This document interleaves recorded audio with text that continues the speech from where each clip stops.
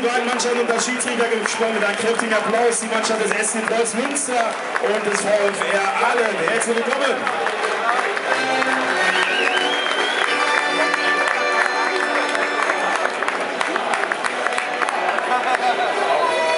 Ja, liebe Zuschauer, am Samstag hat es bekanntlichermaßen Vorfälle gegeben in Osnabrück, die nicht so schön waren, die ein schlechtes Mittel auf unseren Verein geworfen haben. Und wir bitten einmal Stefan Kühne nach vorne kommen. Er hat ein paar Worte. Liebe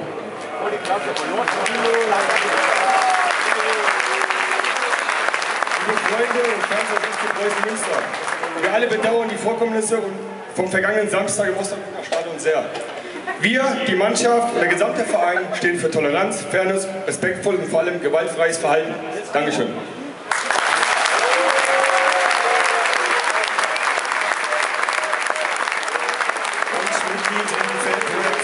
Ist Tanja Eiland. Ein paar Worte.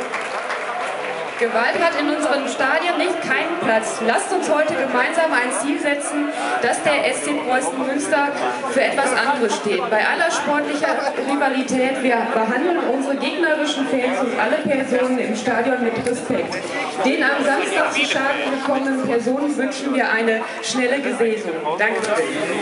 Dankeschön, Tanja Eiland und Stefan. Und Jetzt kann der Ball rollen. Es los. SC Preußen gegen VfR Allen.